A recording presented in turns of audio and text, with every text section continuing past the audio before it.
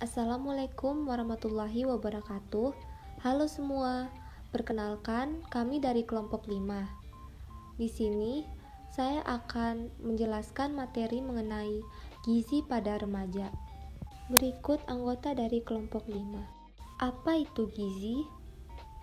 Gizi atau makanan didefinisikan sebagai zat bahan organik yang dibutuhkan oleh makhluk hidup untuk bertahan hidup, mempertahankan fungsi normal sistem tubuh, pertumbuhan, pemeliharaan kesehatan dan kinerja kegiatan.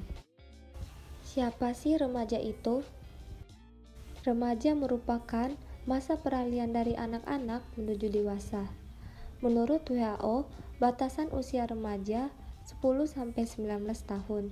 Sedangkan menurut pemerintah Menteri Kesehatan, usia remaja 10-17 tahun. Energi atau kalori yang dibutuhkan pada laki-laki 2400 sampai 2800 kilokalori per hari. Sedangkan untuk perempuan, energi atau kalori yang dibutuhkan 2000 sampai 2200 kilokalori per hari. Kebutuhan gizi pada remaja. Karbohidrat merupakan sumber energi utama bagi manusia yang menyediakan 50-60% dari total energi yang dibutuhkan. Peranan protein yang utama adalah memelihara dan mengganti sel-sel yang rusak. Kebutuhan protein harian untuk remaja 10% sampai 15%. Lemak merupakan sumber energi yang dapat disimpan dalam tubuh sebagai cadangan energi. Kebutuhan lemak harian untuk remaja adalah 20-30%.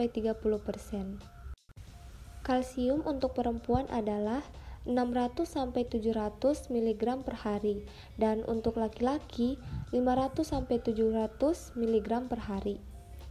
Zat besi untuk laki-laki 13-19 mg per hari, sedangkan untuk perempuan 26 mg per hari. Zinc yang dibutuhkan remaja laki-laki dan perempuan yaitu 15 mg per hari. Masalah gizi pada remaja. Anemia pada remaja berdampak buruk terhadap penurunan imunitas, konsentrasi, prestasi belajar, dan kebugaran remaja. Stunting dapat menimbulkan dampak jangka pendek, di antaranya penurunan fungsi kognitif, penurunan fungsi kekebalan tubuh, dan gangguan sistem metabolisme tubuh. Remaja yang kurus atau kurang energi kronis bisa disebabkan karena kurang asupan zat gizi, baik karena alasan ekonomi maupun alasan psikososial seperti misalnya penampilan. Obesitas remaja dapat dicegah dengan mengatur pola dan porsi makan dan minum, berbanyak konsumsi buah dan sayur, banyak melakukan aktivitas fisik, hindari stres, dan cukup tidur. Dampak kekurangan gizi pada remaja yaitu ada pertumbuhan, pertahanan tubuh, produksi tenaga, struktur dan fungsi otak, dan perilaku.